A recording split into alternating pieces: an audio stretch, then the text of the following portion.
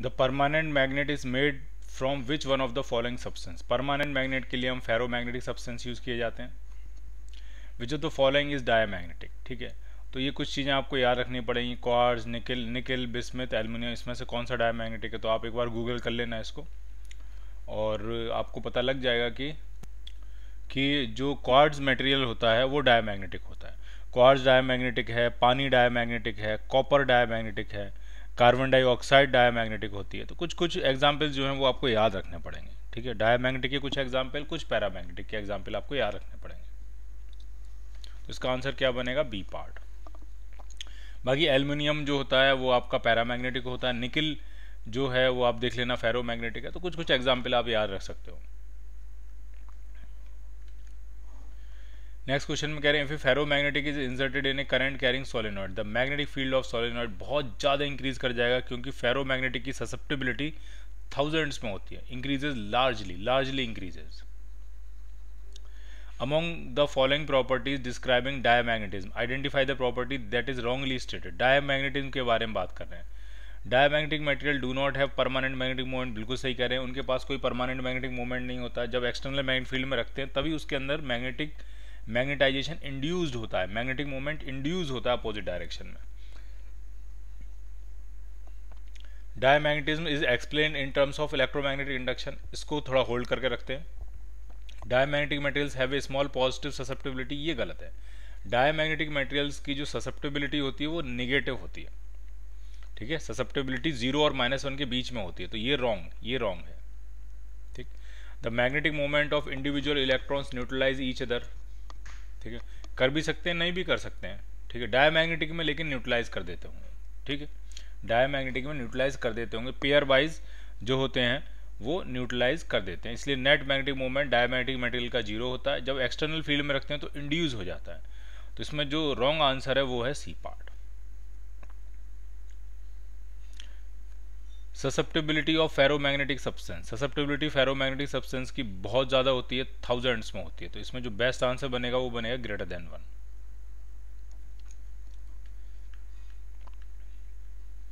when a ferromagnetic material is heated to a temperature above its Curie temperature तो Curie temperature by definition वो temperature होता है, जिससे ऊपर फेरोमैग्नेटिक सब्सटेंस पैरामैग्नेटिक में कन्वर्ट हो जाता है।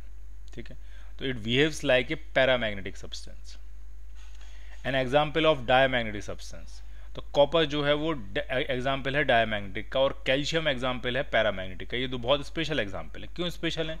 जनरली हम ऐसा पढ़ते हैं कि जो पेयर्ड इलेक्ट्रॉन वाले होते हैं, वो सब डायमैग्नेटिक होते हैं। बट कॉपर में अनपेयर्ड इलेक्ट्रॉन है बट फिर भी वो डायमैग्नेटिक है। जनरली हम ऐसा पढ़ते हैं कि जो अनपेयर्ड इलेक्ट्रॉन वाले होते हैं, वो पैरामैग्नेटिक या फेरोमैग्नेटिक होते हैं। बट बट कैल्शियम में कोई भी अनपेयर्ड इलेक्ट्रॉन नहीं कैल्शियम में सारे इलेक्ट्रॉन पेयर्ड हैं, फिर भी वो पैरामैग्नेटिक है। कॉपर और कैल्शियम दो इंपॉर्टेंट एग्ज़ाम्पल हैं, आपको याद रखना है। कॉपर, अनपेयर्ड इलेक्ट्रॉन, फिर भी डायमैग्नेटिक कैल्शियम, कोई भी अनपेयर्ड इलेक्ट्रॉन नहीं, फिर भी पैरामैग्नेटिक। ऐसा है क्यों? ऐसा इसलिए है क्योंकि पैरामैग्नेटिज्म, फेरोमैग्नेटिज्म डायमैग्नेटिज्म ये सब क्वांटम मैकेनिकल फिनोमिना है। क्लासिकली आप कोई भी तिगड़म बना के इनको नहीं समझ सकते। आपकी तिकड़म कुछ देर तक काम करेगी, कहीं ना कहीं जाके फेल हो जाएगी। ठीक है? तो जो क्लासिकल एक्सप्लेनेशन है इनके, वो सब गलत हैं। ठीक है? क्योंकि ये कैसे फिनोमिना है? Quantum mechanical phenomena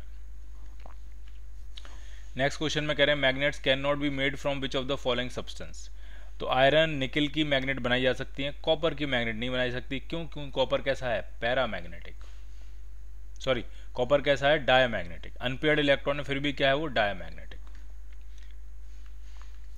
which of the following is most suitable for the core of electromagnet तो कोर के लिए हमें चाहिए सॉफ्ट आयरन और परमानेंट मैग्नेट के लिए हमें चाहिए steel demagnetization of a magnet can be done demagnetization कैसे कर सकते हैं? हम हीटिंग करने से कर सकते हैं। हीटिंग करने से अगर आपने क्यूरी टेम्परेचर से ज़्यादा गर्म कर दिया तो वो पैरामैग्नेटिक हो जाएगा, सारे मैग्नेटिक मूवमेंट खत्म हो जाएगा उसका। ठीक है? अपोजिट डायरेक्शन में मैग्नेटाइज करने से भी खत्म हो जाता है। और रफ हैंडलिंग का मतलब है कि आप उसको पीट रहे हो ठोंक रहे हो, ऊपर से गिरा रहे हो रफ हैंडलिंग से भी मैग्नेटाइजेशन कम हो जाता है। तो इसका आंसर बनेगा बी और सी तो पक्का है। रफ हैंडलिंग यहाँ पे क्लियर नहीं है कि रफ हैंडलिंग का क्या मतलब तो बी और सी पक्का है तो फिर आंसर क्या मार देंगे हम? All of the above if ferromagnetic material is heated above its Curie temperature तो वो क्या हो जाएगा?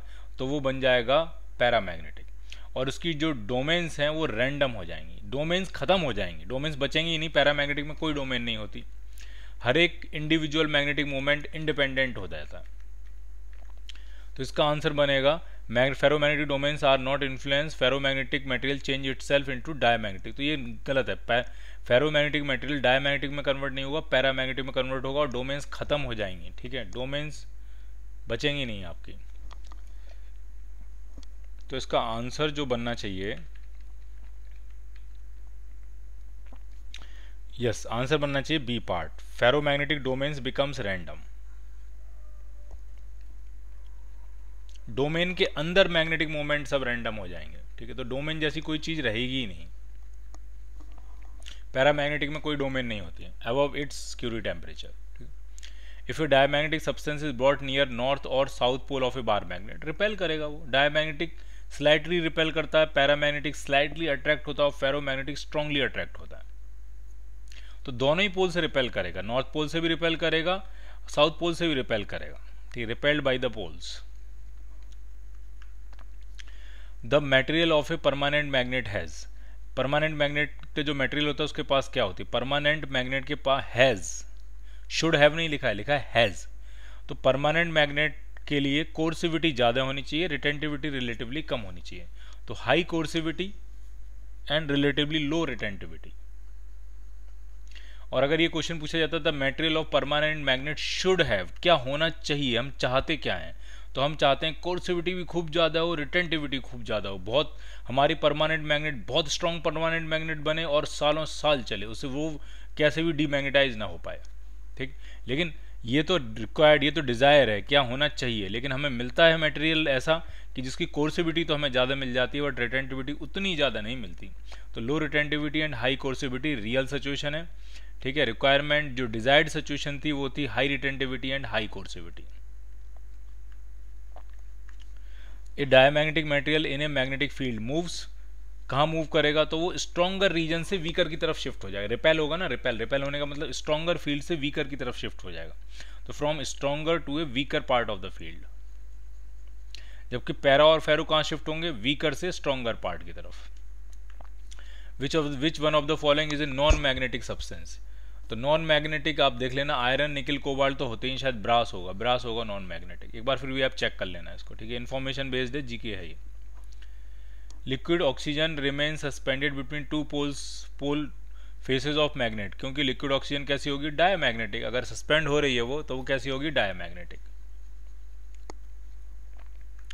रिपेल हो रही होगी और सस्पेंड हो जाएगी। Temperature above which ferromagnetic substance become paramagnetic that is called Curie temperature Curie law is obeyed by iron at a temperature above Curie temperature ठीक है क्यूरी लॉ जो है, वो पैरामैग्नेटिक सब्सटेंस के लिए होता है। तो पैरामैग्नेटिक सब्सटेंस तो आयरन तभी हो पाएगा जब उसका टेम्परेचर क्यूरी टेम्परेचर से ऊपर होगा। तो आंसर बनेगा above Curie temperature Curie law को कैसे लिखा जाएगा? अगर हम उसके लिए बात करें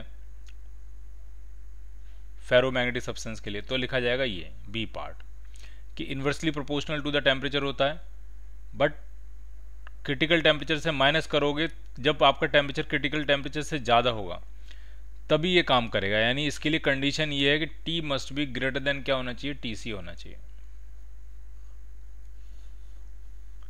तब जो ससेप्टेबिलिटी है वो inversely proportional to the temperature हो पाएगी। और टी सी क्रिटिकल टेम्परेचर है। The variation of magnetic susceptibility with temperature for a diamagnet diamagnetic substance temperature की ससेप्टेबिलिटी टेम्परेचर से इंडिपेंडेंट होती है, ठीक और निगेटिव होती है। नहीं सॉरी ससेप्टेबिलिटी है। हाँ ससेप्टेबिलिटी निगेटिव होती है डायमैग्नेटिक सब्सटेंस की और टेम्परेचर से इंडिपेंडेंट होती है। तो आंसर क्या बनेगा इसका? बी पार्ट आंसर बनेगा। नेक्स्ट क्वेश्चन में कह रहे हैं ससेप्टेबिलिटी का वेरिएशन पूछ रहे हैं पैरामैग्नेटिक तो पैरामैग्नेटिक के लिए ससेप्टेबिलिटी टेम्परेचर के साथ इन्वर्सली प्रोपोर्शनल होती है. For a paramagnetic substance it is inversely proportional to the temperature तो ये रेक्टेंगुलर हाइपरबोला बनेगा तो आपका आंसर बनेगा C part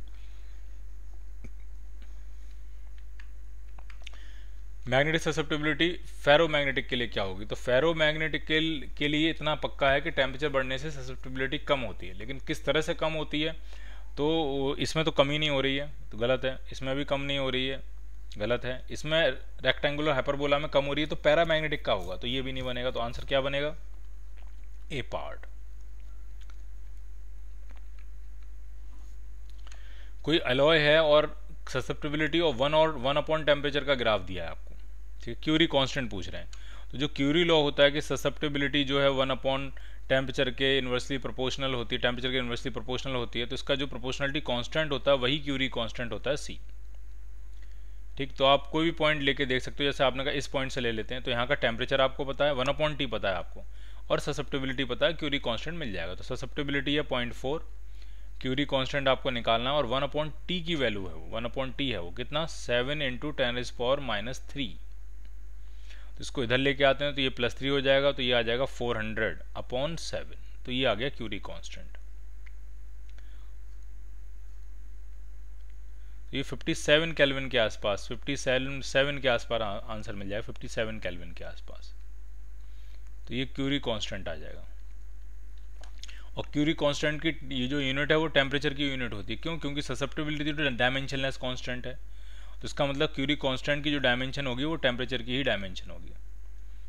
तो आपका आंसर आना चाहिए ए पार्ट। कैलकुलेशन आप एक बार खुद से देख लेना।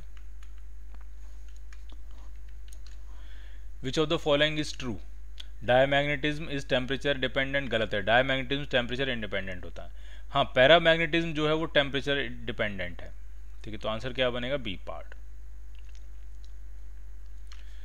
superconductor exhibit perfect diamagnetism ये आपको याद रखना है, जो परफेक्ट डायमैग्नेटिक होते हैं परफेक्ट डायमैग्नेटिक का मतलब ससेप्टेबिलिटी जिनकी माइनस वन होती है।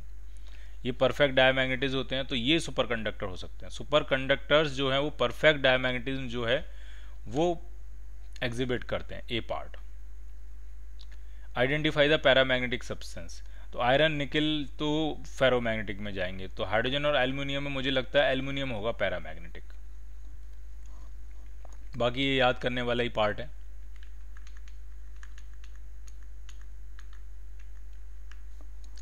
If a magnetic substance is kept in a magnetic field then which of the following is thrown out बाहर कौन फेंक दिया जाएगा मैग्नेटिक फ़ील्ड से? तो वो होगा diamagnetic substance when a magnetic substance is heated, it then it loses its magnetization ठीक है? मैग्नेटाइजेशन कम होता जाएगा।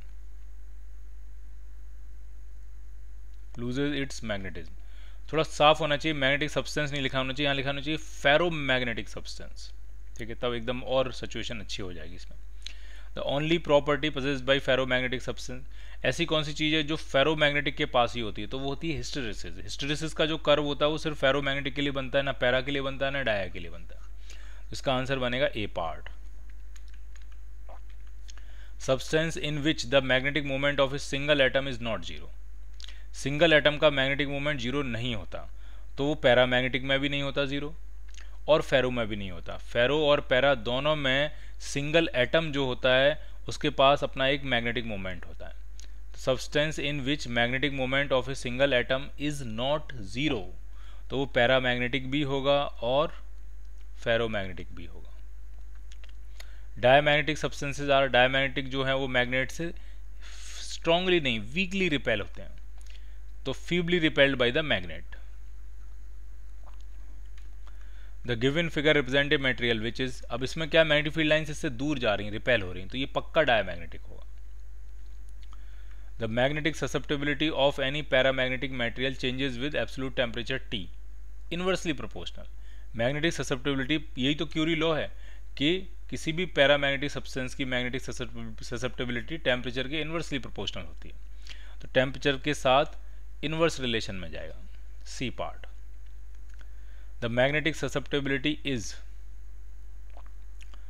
तो जो फॉर्मूला होता है कि intensity of magnetization external magnetic intensity के प्रोपोर्शनल होगा एंड आई का जो प्रोपोर्शनलिटी कांस्टेंट आएगा, वो होता है ससेप्टेबिलिटी ठीक?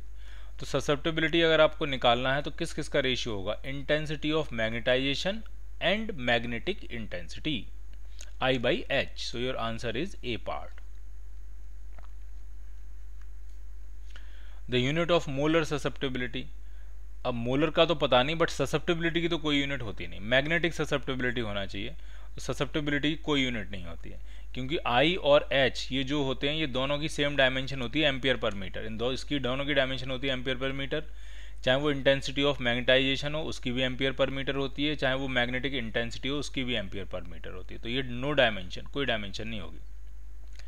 नेक्स्ट क्वेश्चन में कह रहे हैं रिलेटिव परमिएबिलिटी पचपन सौ दी है ससेप्टेबिलिटी पूछ रहे हैं. तो जो फॉर्मूला होता है रिलेटिव परमिएबिलिटी का, वो होता है वन प्लस ससेप्टेबिलिटी तो रिलेटिव परमिबिलिटी अगर पचपन सौ है तो ससेप्टेबिलिटी हो जाएगी आपकी four thousand five hundred ninety nine so your answer is D part